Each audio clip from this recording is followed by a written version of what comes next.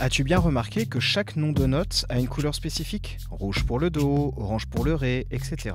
Ce code est le même ici et en classe où tu pourras remarquer que tous les instruments respectent ce code de couleur. Une mélodie est donc une suite de notes. Prenons cette mélodie. Si j'échange de place certaines notes, j'obtiens une mélodie différente de la première.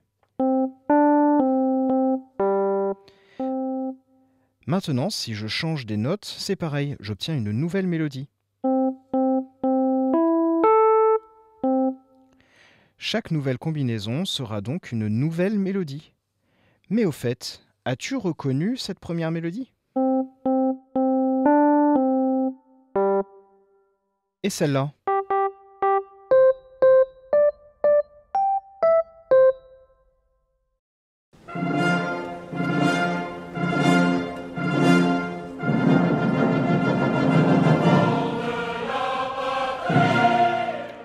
Si tu as reconnu, tu pourras peut-être réciter des paroles, ou donner un titre, ou l'auteur, peut-être une histoire, ou peut-être un souvenir.